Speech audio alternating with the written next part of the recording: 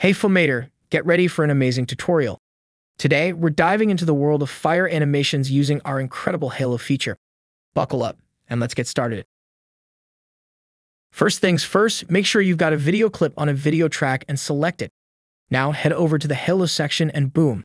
Choose the fire option and watch as the fire line screen comes to life. Ready to draw a blazing line that looks like it's on fire? Let's do this.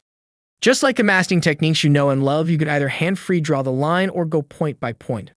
Let's go wild with a hand-free shape and see the sparks fly. Tap on the hand-free button, draw your flaming shape, and tap back to finish it. 1. Close the path. Hit the close button and you're all set. Now scroll along the horizontal bar and witness the fire in motion.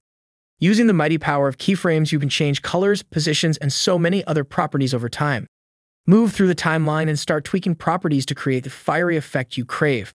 Remember, Filmator, whenever you change a property, a new keyframe is born. Just like in our Earthquake tutorial, keyframes in Filma make sure the property values interpolate smoothly. Control the curve for a more curvy or polygonal line and adjust the border to change the line's thickness.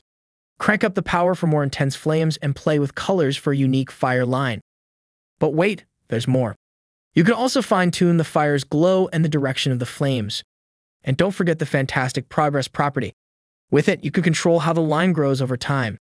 Just go back to the first keyframe, set the progress to zero, and change it over time for some jaw-dropping effects like a fiery line encircling your on-screen character. The sky's the limit with keyframes, so let your creativity run wild. Save your adjustments, apply them to your clip, hit play, and feast your eyes on the magic of these effects. And guess what?